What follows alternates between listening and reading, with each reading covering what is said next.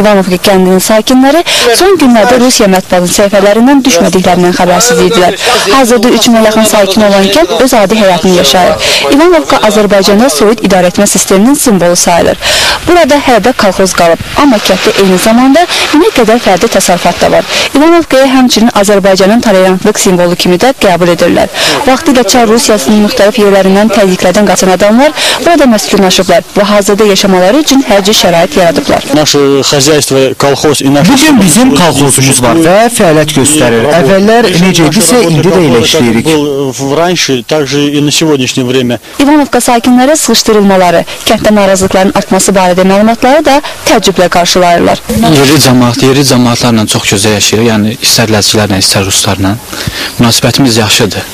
Son dövrdə kənddə bəzi maliyyə problemləri yaranıb. Bu da sakinlərin əsas gəlir mənbəyi olan kolxozun fəaliyyətində çətinliklərin olmasıdır. Lakin yerli sakinlər bunun sırf istehsalat xarakterli problem olduğunu deyirlər. Bununla belə İvanovkada bir neçə məqam diqqəti çəkir.